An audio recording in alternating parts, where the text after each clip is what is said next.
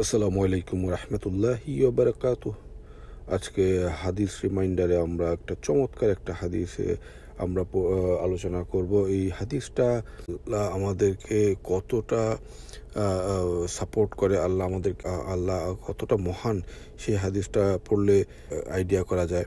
কারণ আমরা সারা জীবনে এক একবার হজ ফরজ, সেই হজ কতটা এফোর্ট নিতে হয়, কতটা হজটা কত কঠিন, সেই কঠিন একটা হজ এর সোয়াব আল্লাহ এই আমাদেরকে খুব সামান্য একটা দুই রাকাত নামাজ পড়লে দিয়ে দিবে।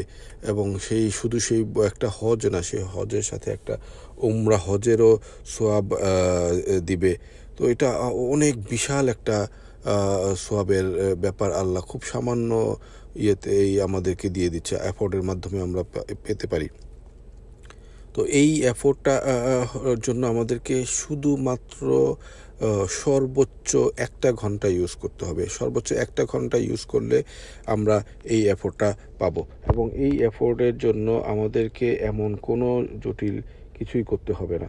সুতরাং আমরা এই জিনিসটা, হাদিসটা পড়ে দেখি। সৈয়দনা আনাস ইবনে মালিক রাদিয়াল্লাহু বর্ণনা করেন যে, নবী সাল্লাহ আলহাম বলেছেন, যে ব্যক্তি ফজরের সালাত জামাতে আদায় করে অতপর সূর্য উদয় পর্যন্ত আল্লাহর জিকিরে বসে থাকে এবং অতপর দুই রাকাত সালাত ইশরাক আদায় করে, সে এক পূর্ণ হজ ও এক পূর্ণ উমরার সোয়াব লাভ করে। নবী সাল্লাহ সাল্লাম সম্পূর্ণ শব্দটি তিনবার পুনরাবৃত্তি করেছেন। তা এই হাদিসটা আছে সুনান, তিরমিজি হাদিস পাঁচশো ছিয়াশি। এবং হজুর পাক সাল্লাহ আলহিহাসাল্লাম এটাকে তিনবার কনফার্ম করে বলেছেন যে একটা পূর্ণ হজ এবং পূর্ণ ওমরা সোয়াব লাভ করবে করবে।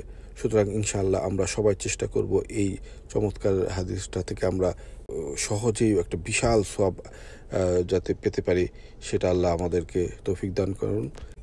আমিন।